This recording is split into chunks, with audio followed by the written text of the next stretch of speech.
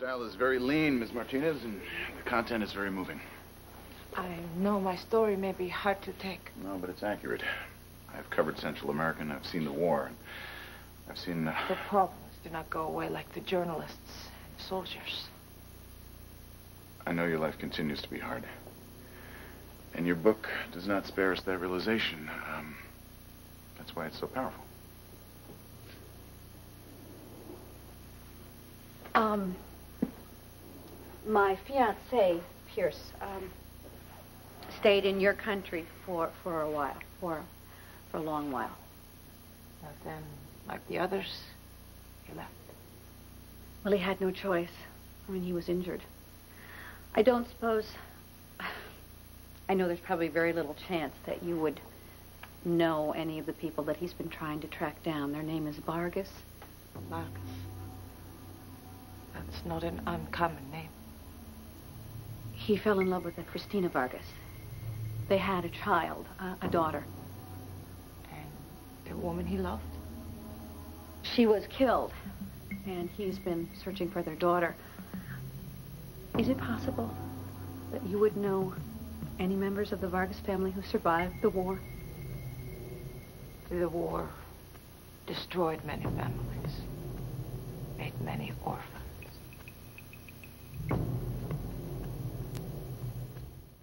Many things could have happened to Mr. Riley's child. Could have been sent to an orphanage, adopted illegally by someone in the junta government, left to die in the street, or killed outright.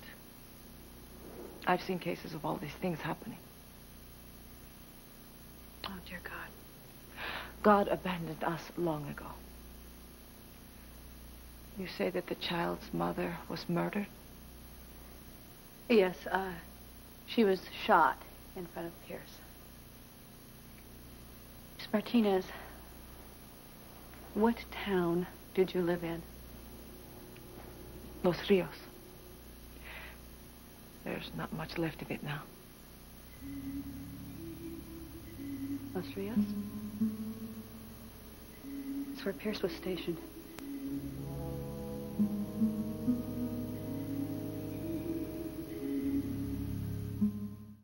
Los Rios? You and Pierce might have been there at the same time. Perhaps. Were you there 18 years ago? That was when Pierce lost his daughter. It's not a tiny shanty village. You may think that we all know each other. We don't. No, I I didn't think that. I Well, then leave it alone, please. I would rather not talk about Los Rios. I'm sorry, really. Um, I didn't mean to push you, and I certainly didn't mean to, you know, to offend you. It, it just that Pierce and I have been looking for his daughter, and you're really the first glimmer of hope that I've found. And I, I know it's a long shot, and uh, it's just, it's too important not to try. You know, if there's anything that you might know, anything that you could tell us, I, we would appreciate it so much. Listen, um, Miss Martinez, both Brooke and I know the pain of losing a child. I would help you if I could. But I cannot. You see, I lived my whole life in Los Rios. But as for my adult life, I lived it there in prison. You were in prison? Yes, Were you a political prisoner? I've shocked you. No, you haven't. Was there more than one prison in Los Rios? No. So then you were in the same prison as the Senorita Vargas that we're trying to find. I have told you, I didn't know such a woman. But there must be a possibility if you were both in the same prison that Is you... Is this an interrogation? Do you think I should still be treated as a criminal? No, no, I'm sorry. I... Well, I am not a criminal. No, listen, we know there's lots of reasons why people are imprisoned. I was in prison once myself for contempt of court for refusal to name a source in a story. I, I... That is not the same thing. I lived in rags amidst filth. I had to fight with rats for the spoiled food that they gave us. You chose not to name your source. You had an option of not going. I had no option. I believe that that jail cell would also be my graveyard. Miss Martinez, there's no way we can possibly Well, we can just empathize with your plight. We can't know what you endured and survived. You're right. I wouldn't wish my life on anyone. Forgive me, Miss English. I couldn't tell you anything about the prison, except for the stench of my cell. Or how the rocks from the floor pushed up through the straw mat where I slept. Is that what you wish to hear from me? It must have been horrible for you. I was a political prisoner. The only people I saw were my inhuman captors. You can read all this. Writing it is much easier than telling. Please excuse me for a minute. Certainly. Uh, if you want the ladies' room, it's just down this hall on the left.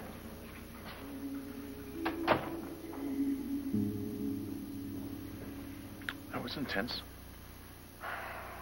You know, I, I, I couldn't help myself. I heard Los Rios, and then I heard the same prison, and I, I know, it's an amazing coincidence. I'm just going to have to keep my reporter's curiosity in check. I don't want to push her into a corner. She seemed defensive about something. So I'm not the only one that thinks that she knows more than she's saying. Or not saying. Look, I remember my interview with Arthur Pembo right after he was released from that South African jail. Took him a while to warm up to me, too. Well, to retell it is to relive it. How did you get him to warm up? Patience. You have to remember she's a political prisoner. I mean, she talks to the wrong person.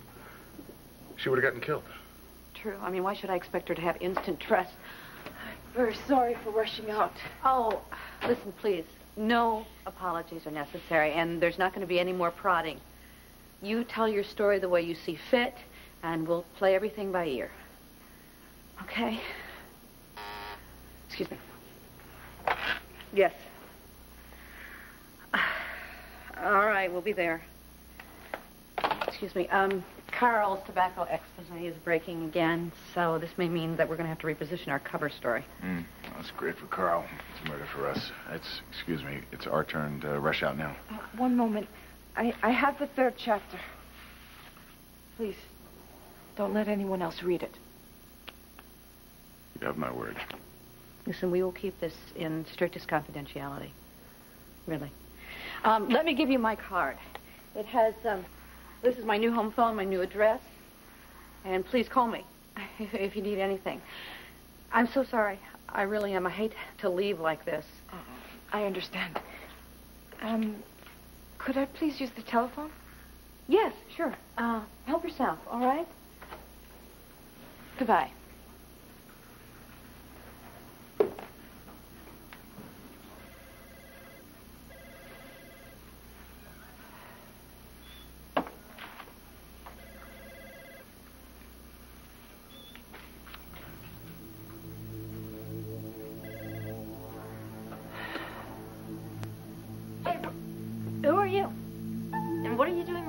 Desk? Um, the telephone. I needed to use it. You're Brooke's daughter, Laura, aren't you? Yeah, who are you?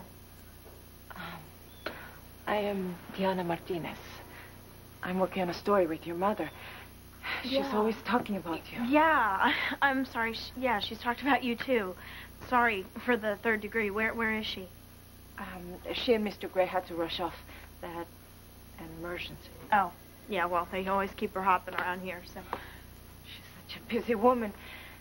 Moving to a new home, and now she's going to be married again. There's so many changes going on. I'm sure it must be very difficult for you. not really. I, I've moved around a lot, so it's no big deal.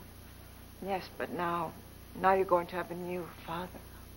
Well, actually, I lived with Pierce before I lived with Brooke, so he's kind of like my father already.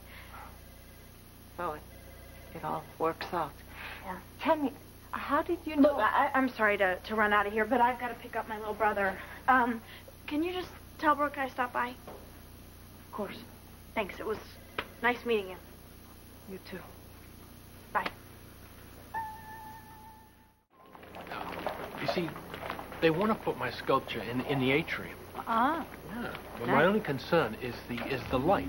You see, during the day, the natural light is perfect. It's great. Yeah, but at night, Those floodlights cast the most god-awful shadows. Well, Uh, Here. What? it's her. Who? It's Deanna Martinez. Yeah?